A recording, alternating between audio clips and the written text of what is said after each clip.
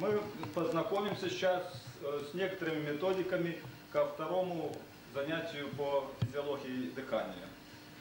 Начнем э, со знакомства с методом оксигемографии.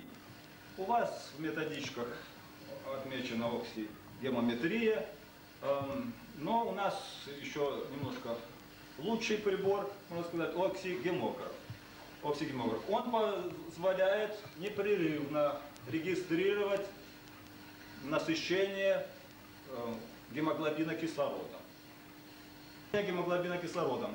Причем исходная установка э, э, ставится на отсчет 96% оксигемоглобина. То есть мы помним, сколько оксигемоглобина в артериальной крови. 98 это в крови, оттекающих от легочных капилляров.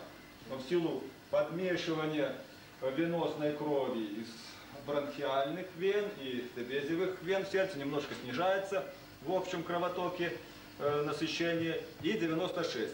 И вот если мы датчик поместили на ухо испытуемому, и вот с одной стороны здесь осветитель, с другой фотоэлемент, лампочки, плюс кому что создают световой поток, еще нагревают ухо, а поглощение кислорода здесь практически э, не идет, очень маленькое, так что практически мы можем считать, что имеем дело с артериальной кровью. Видно, что здесь гиперемия явная, расширились сосуды и э, практически мы имеем дело с артериальной кровью. Вот с этой стороны, значит, фотоэлемент, а здесь лампочки э, осветителя. И вот мы ставим исходный отсчет, вот здесь ручка подстройки, на 96%. Во-первых, включаем запись и ставим вот здесь черта 96%. И медленно лента будет протягиваться, и прибор будет регистрировать, как изменяется насыщение гемоглобина кислородом относительно этого исходного отсчета 96%.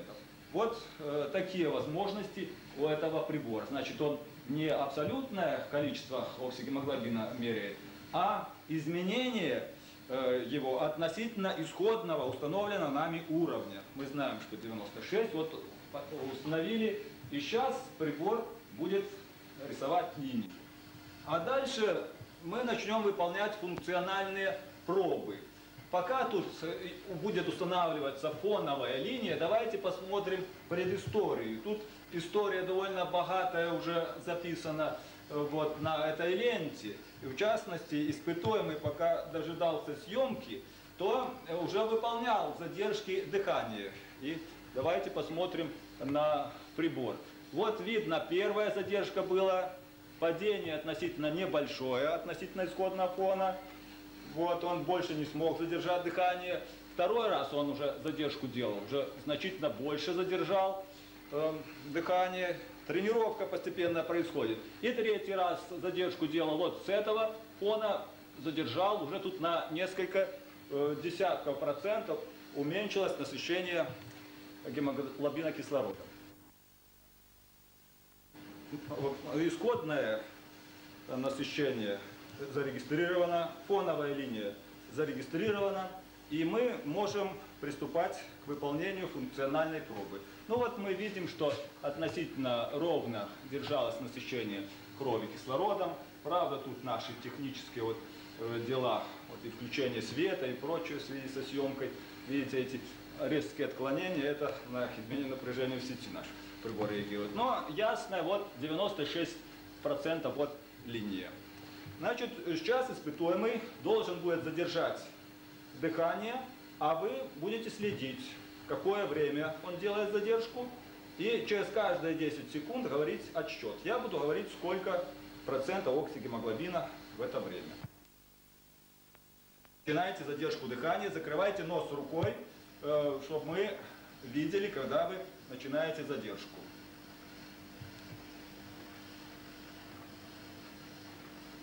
Так, вот, начал. Пожалуйста, значит, вы следите. Ну, в начале задержки мы видим отклонение в сторону вроде бы увеличения насыщения.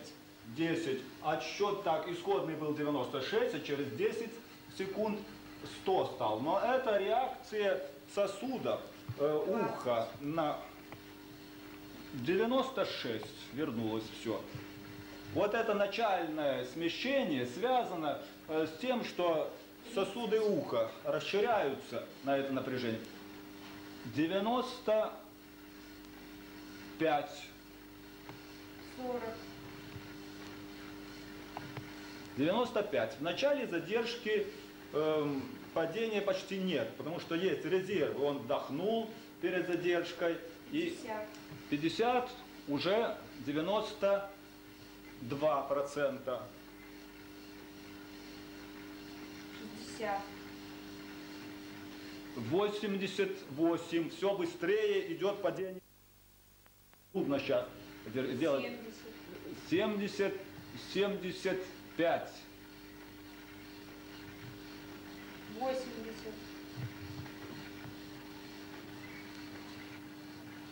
80, 70. Все, испытуемый прекратил задержку. Видим, что еще падение какое-то время идет, несколько секунд. И затем быстро восстанавливается исходное эм, насыщение. 10. За 10 секунд вот на 20% э, восстановилось. А вообще-то максимум, э, чего достигло 20. падение, так, 90% уже через 20 секунд после окончания задержки. И постепенно придет 30. так, 92% через 30 секунд. Это остаточная реакция, даже связана не столько уже с последними процентами кислорода, сколько связана с реакцией сосуда уха. Все-таки очень большое напряжение было, и изменялось и кровяное давление, и тонус сосудов. И вот мы тут видим, что э, через какое-то время только этот тонус сосудов у него э, восстановится. Вот проследим э, через какое время. А пока что посмотрим, чего он максимум достиг. Вот максимальная точка падения. Сюда делаем проекцию и видим, что 60%. До 60% упало 70. насыщение э, гемоглобина кислородом.